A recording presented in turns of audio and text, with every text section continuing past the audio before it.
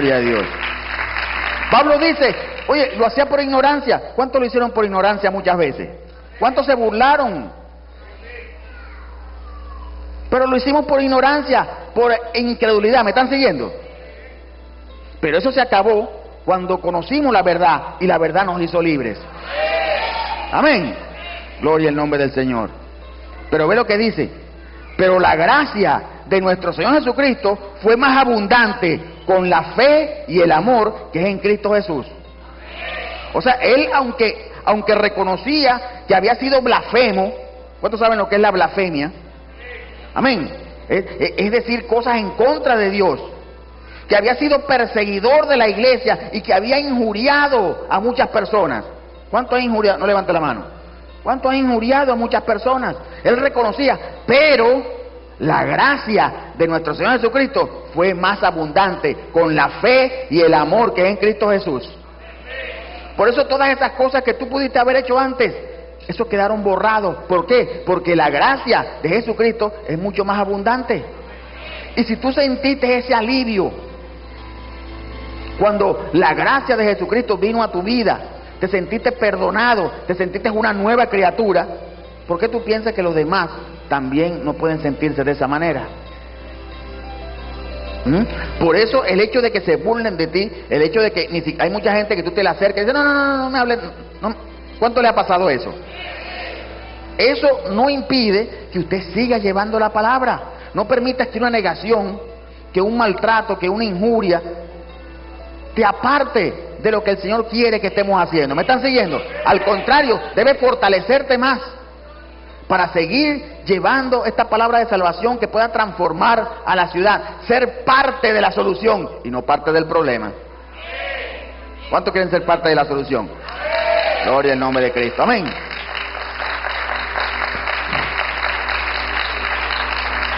Gloria a Dios. Ve lo que dice el 15. Palabra fiel y digna de ser recibida por todos. No por algunos. Ve lo que dice. Esta, esta palabra de salvación, esta palabra de gracia, es fiel y digna de ser recibida por todos. Ve lo que es. Que Cristo Jesús vino al mundo para salvar a los pecadores, de los cuales yo soy el primero. Jesús no vino a condenar al mundo, no vino a acusarlo. Por eso cuando nosotros salimos a la calle con el Evangelio cambia, tenemos que, amados, glorificar a Jesucristo. ¿Y cómo glorificamos a Jesucristo? Solamente, solamente con el amor por la cual Jesucristo hizo este sacrificio. Mostrando ese amor hacia los demás, no condenando, porque Él no vino a condenar, Él vino a salvar a los pecadores. No vino a acusarlos, no vino a avergonzarlos, vino a salvarlos. Esa es la función de nosotros dentro del Evangelio. ¿Mm? Ir y predicar esta palabra, esta palabra que es fiel y digna de ser recibida por todos, que Cristo Jesús vino al mundo para salvar a los pecadores, de los cuales yo soy el primero. Pablo decía, oye, yo, yo reconozco que fui blasfemo, perseguidor, injuriador, pero que la gracia de nuestro Señor Jesucristo vino sobre mí y fue más abundante. Y por eso ahora yo sé que esta palabra es fiel y digna de ser recibida, no por alguno, no por un poquito, no por un grupo, sino por todos. Por eso tenemos que ir por todas partes llevando esta palabra fiel y digna, que Jesús vino al mundo a salvar a los pecadores. Gloria a Dios. Por eso hacemos este trabajo, por eso hacemos esta inversión, por eso hacemos estos gastos, porque es una orden que se nos dejó que no ha sido ni cambiada ni revocada. Y predicar el Evangelio a toda criatura. Amén. Por eso yo le invito a participar los sábados, de alguna manera,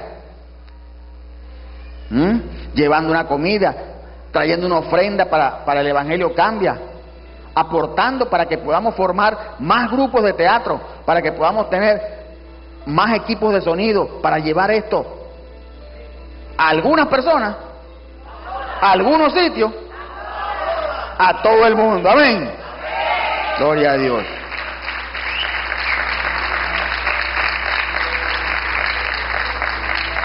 Ve lo que dice el 16. Pero por esto fui recibido a misericordia, para que Jesucristo mostrase en mí, el primero, toda su clemencia, para ejemplo de los que habían de creer en Él para vida eterna.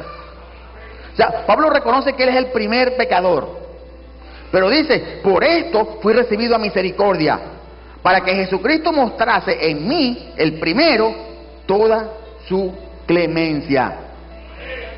Si Jesucristo puede mostrar esta clemencia hacia nosotros que hemos sido pecadores, ¿por qué el pueblo de Dios no muestra su clemencia para aquellos que están en la calle y todavía por incredulidad o por ignorancia no han recibido esta palabra fiel y digna?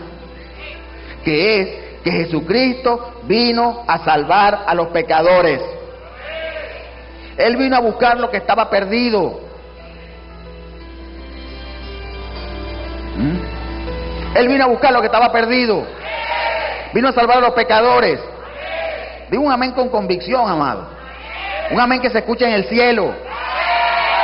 Gloria al nombre del Señor. Gloria a Dios. Y Pablo se pone como ejemplo de que él siendo el primer pecador recibió misericordia.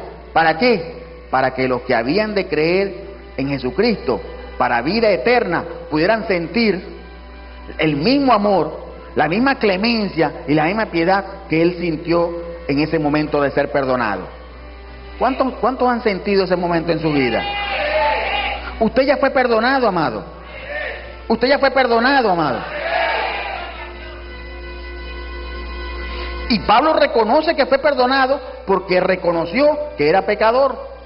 ¿Cuántos reconocen aquí que somos pecadores? Porque es la forma en que el Señor puede demostrar clemencia en nosotros y es la forma en que nosotros vamos a mostrar, clemencia para otros pecadores. ¿Mm? Y dejar de ser los acusadores. La sociedad nos tiene como acusadores. ¿Mm? Porque hemos sido perdonados, entonces nos sentimos más que los demás. Eso no puede ser. Tenemos que ser piadosos, clementes, misericordiosos. Por eso que tenemos que llevar esta palabra de salvación, de amor a la sociedad, para que ellos puedan también sentir lo mismo que sentimos nosotros en aquel día en que fuimos perdonados. Gloria al nombre del Señor. Eso, eso es lo que va a hacer, es, transformar esta ciudad. ¿Mm? Dios, no, Dios, no, Dios no vino aquí a hacernos famosos ni hacernos millonarios. ¿Mm? Él vino aquí a salvarnos. Él vino a salvarnos. Él ni siquiera vino para que tú tengas una vida feliz. ¿No? Ni para que consigas esposo o esposa. Esas son consecuencias de haber aceptado ahora a Jesucristo en tu corazón. ¿Mm? Ahora en tu corazón tienes el fruto del Espíritu, tienes amor, fe, bondad, benignidad, paz, templanza. Contra tales cosas no existe ley. Por eso es que tú ves que tu vida se te empieza a transformar. Por eso es lo que, que tú empiezas a restaurar tu familia, a restaurar tu matrimonio como consecuencia de que Cristo está ahora en tu vida. Y Dios no tiene nada en contra de que tú te hagas millonario. Nada. Porque Él puede bendecirte. Él puede hacerte millonario, él puede, él puede darte muchas cosas, pero no es la prioridad de Jesucristo en tu vida. La prioridad de Jesucristo en tu vida es que seas salvo, tú y tu casa. Gloria al nombre del Señor. Y tenemos que entender eso. Y si alguno recibe la bendición de Dios, ¿por qué? Porque el obrero es digno de su salario. ¿Me, me están siguiendo? De tener bendiciones de Dios. Bueno, demos gloria a Dios. De gloria a Dios. A lo mejor usted está en la lista ahí y por estar con esa, ¿me están siguiendo? No lo han metido completo. ¿Mm? Gloria al nombre del Señor. Gloria a Dios. A eso fue que vino Jesucristo esta vida. A deshacer toda la obra de Satanás. Él vino a buscar aquello que se había perdido. Amén. Ahora, ¿para qué? ¿Para qué Él quiere restaurar todas estas cosas y devolverte aquella gloria que se perdió en el Edén? Por la desobediencia, por no sujetarte, por no someterte a la obediencia de Dios. ¿Por qué? Ve lo que dice Efesios 5:27. A fin de presentársela a sí mismo, una iglesia gloriosa que no tuviese mancha, ni arruga, ni cosa semejante, sino que fuese santa y sin mancha. Gloria a Dios.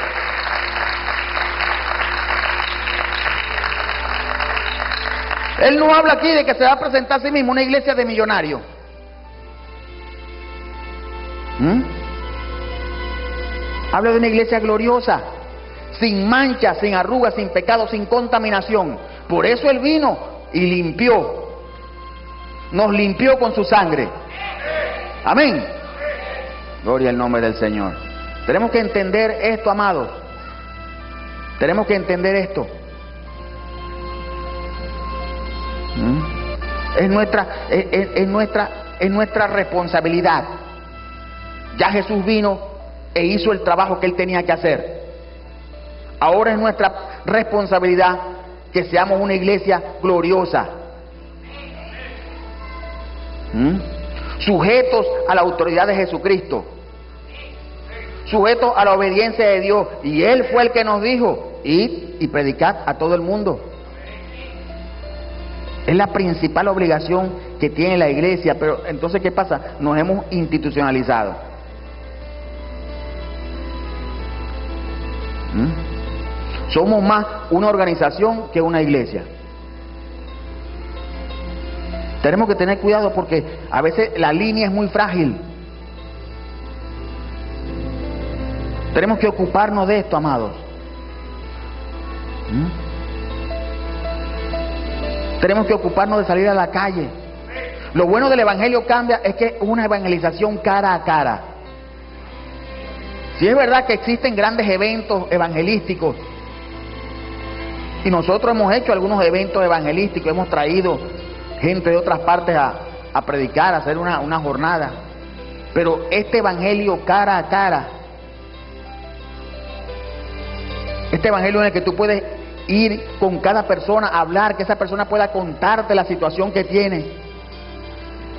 No desde una tarima, sino ahí en, su casa, en algún lugar donde el Señor llegue tocando la puerta de su corazón.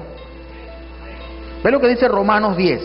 Romanos 10, versículo 13. Esto es importante, amado. Llévese esto en las tablas de su corazón. Ve lo que dice. Romanos 10, 13. Porque todo aquel que invocare el nombre del Señor será salvo. ¿Cómo pues invocarán a aquel en el cual no han creído? ¿Y cómo creerán en aquel de quien no han oído? ¿Y cómo irán sin haber quien les predique? ¿Cuántos están predicando? ¿Cómo predicarán si no fueran enviados? ¿Ah? ¿Cómo estos muchachos van a salir a predicar en, el Evangelio cambia si nosotros no los enviamos? ¿Mm? Así mismo Jesucristo enviaba, él, dijo, y enviaba a sus discípulos. ¿Mm? Y en mi nombre echaréis fuera demonios, impondrán las manos sobre los enfermos y sanarán. Ya, ya, ya estos muchachos del Evangelio cambia tienen que estar sanando gente y echando fuera demonios en todas partes donde van. ¿Mm? Porque no son ellos, es en el nombre de Jesucristo.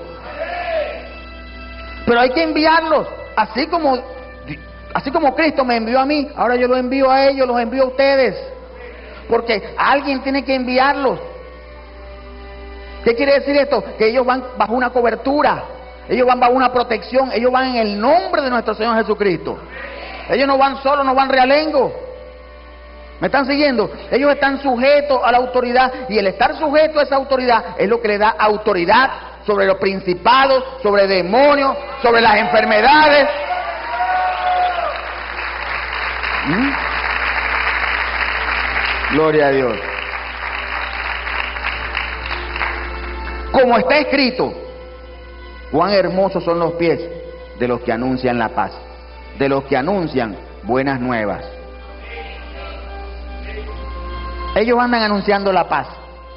Y usted puede convertirse en un anunciador de la paz. Y cuando usted se acuesta y se ve a los pies, dice, oye Dios mío, cuán bonitos son estos pies, ¿verdad? Gloria al nombre. ¿Ah? Gloria a Dios. Cuán hermosos. ¿Mm? Son los pies de esos que andan caminando, anunciando las buenas nuevas, anunciando la paz. Mas no todos obedecieron el Evangelio. Pues Isaías dice, Señor, ¿quién ha creído a nuestro anuncio? Así que la fe es por el oír y el oír por la palabra de Dios. La fe de la gente va a venir cuando escuchen, cuando escuchen este evangelio, cuando escuchen este movimiento de gente que anda en la calle transformando vidas, transformando corazones. Es la transformación de muchos corazones lo que va a hacer que la sociedad se transforme. ¿Me están siguiendo?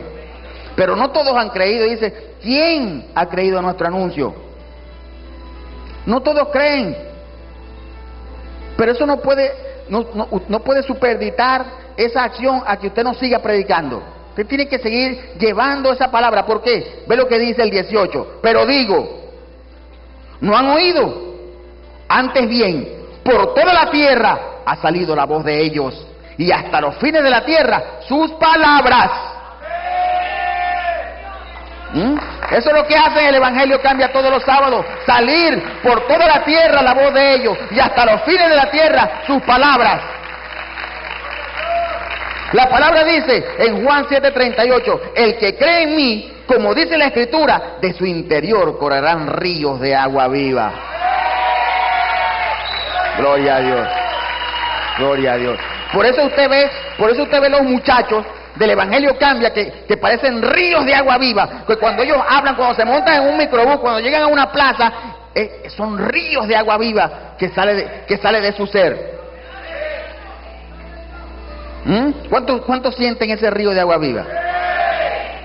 hay una canción, hay una canción que dice, ¡Ah! ¿No es que dice? Hay una que dice, yo tengo un gozo en mi alma, gozo en mi alma, gozo en mi alma y en mi ser. Son como un río de agua viva, ríos de agua viva, ríos de agua viva en mi ser. Yo tengo un gozo en mi alma, gozo en mi alma gozo en mi alma y en mi ser. Son como ríos de agua viva, ríos de agua viva, ríos de agua viva en mi ser. Aleluya. Gloria a Dios. Y es el río de agua viva en tu ser el que hace que tengas ese gozo al salir y al llevar la palabra de salvación, al llevar esta palabra de transformación ¿Mm? Es el poder de Dios manifestado con toda su gloria. ¿Mm? Eso es lo que hace que estos muchachos puedan salir de esa manera. De su interior corren ríos de agua viva que produce ese gozo, que produce ese gozo. Por eso cuando ellos regresan, yo, yo veo el cambio y la transformación que hay en ellos. Muchos que a veces van quizás con alguna situación difícil, no levante la mano. Y muchos han venido a hablar conmigo de que están teniendo situaciones difíciles y cuando regresan, regresan transformados. ¿Ah? Gloria a Dios.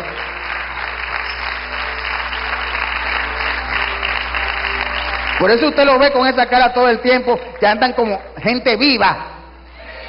¿Ah? Si usted quiere quitarse esa cara de muerto, gloria a Dios, usted lo que tiene que hacer es ir y llevar esta palabra, porque el que cree en Jesús, como dice la Escritura, de su interior correrán ríos de agua viva. Gloria sea el nombre del Señor. Vamos a estar sobre nuestros pies, amados. Aleluya. ¿Cuántos quieren cantar? Yo tengo un gozo en mi alma, gozo en mi alma Gozo en mi alma y en mi ser, son como ríos de agua viva, ríos de agua viva, río de agua viva en mi ser. Aleluya. ¡Uh! Gloria a Dios. Gloria a Dios. Amados, el maestro está en este lugar. Porque dice la palabra donde estén dos o tres congregados en su nombre, allí estará Él. Por eso yo quiero invitar a aquellas personas que están acá que aún no han confesado a Jesucristo como su Salvador personal, que aún no han aceptado a Jesucristo como el camino, la verdad y la vida, como el que lleva al Padre, como el que nos redimió del pecado. Yo te voy a invitar a que tú puedas pasar acá. Gloria a Dios. Vamos a hacer una oración por ti, una oración poderosa que va a transformar tu vida desde hoy mismo. propósito ¿Qué tienes en mi vida? que tienes en mi vida Yo quiero ir, Padre, a predicar a predicar el Evangelio de Cristo el Evangelio de Cristo a toda criatura. a toda criatura. Quiero que la sociedad sea transformada sea transformada por el poder de Jesucristo. por el poder de Jesús. Y yo declaro Yo declaro que la ciudad de Maturín, que la ciudad de Maturín, que el estado Monagas el Estado Monagas, y Venezuela Venezuela estarán estarán bajo la autoridad bajo la autoridad y el señorío y el señorío de Jesucristo. de Jesucristo. En el nombre de Jesús. En el nombre de Jesús. Amén. Amén. Hay fiesta en los cielos, amados. Gloria a Dios.